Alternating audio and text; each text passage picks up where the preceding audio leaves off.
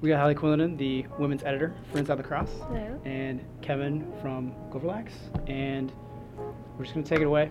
Uh, you've probably seen a bunch of these by now, so you know the deal. But uh, All right. Go for So when Kyle gave us some themes or some ideas for you, uh, one was New York City, and the other was Syracuse.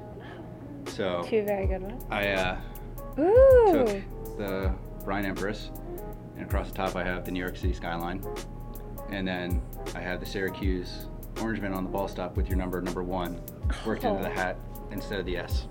This is amazing. Thank, Thank you you. guys so much. And then Kyle has a fear of stringing women's heads. Luckily, I have two daughters, so I know how to string them. So that's one of the few that This is already strung up. incredible. Thank you. This is pretty awesome. How do you do this? Taking the images and either reconfiguring them, redrawing them to fit the head, and a lot of uh, trial and error.